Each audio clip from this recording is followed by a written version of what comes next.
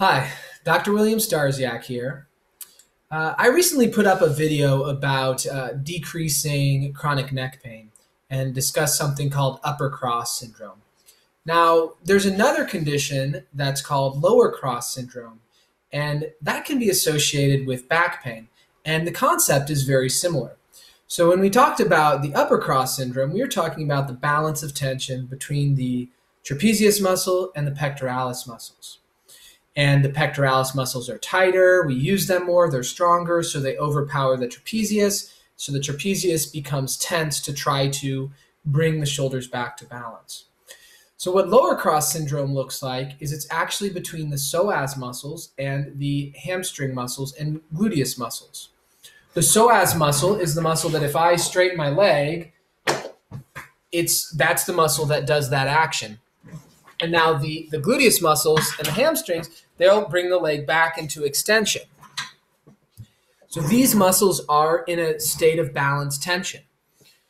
The reason we have problems with uh, lower cross syndrome is because we sit so much. And when we're seated, our thighs are flexed, the psoas muscle is shortened, and it gets used to being short. And it's a very deep, strong muscle. So then when we go to stand up, the hamstrings and the glutes have to contract more to try and bring the psoas to its normal length. This increases the amount of tension on the system. It's like there's a tug of war, and this can cause compression through the lumbar spine. And that compression can lead to discs having more pressure on them, and it can also lead to uh, narrowing of the openings for the nerves and thus pain.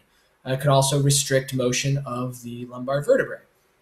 So, the way that you can help relieve back pain in the setting of lower cross syndrome is stretching out the psoas muscle. There's a lot of different ways to stretch out the psoas muscle. I'm not going to demonstrate it in this video. Uh, you can YouTube it and find all sorts of people showing all sorts of different stretches. I've shown one on this page that is really good so long as you're not having any acute pain uh, uh, on the knee because one of the knees will be down on the ground. Um, but you can find this video under the hip external rotator and hip flexor stretches. Those are great stretches to pair together uh, because one will get the glute piriformis muscles and the other will get the psoas muscles. I'll go ahead and link that video at the end of this one. So that's lower cross syndrome. Uh, sometimes your back pain is actually coming from the deepest abdominal muscles, uh, the psoas muscles. Again, thank you for taking the time to check out this video. Please check out my other ones and my website if you want more information www.drstarsiak.com. Hope you have a great day.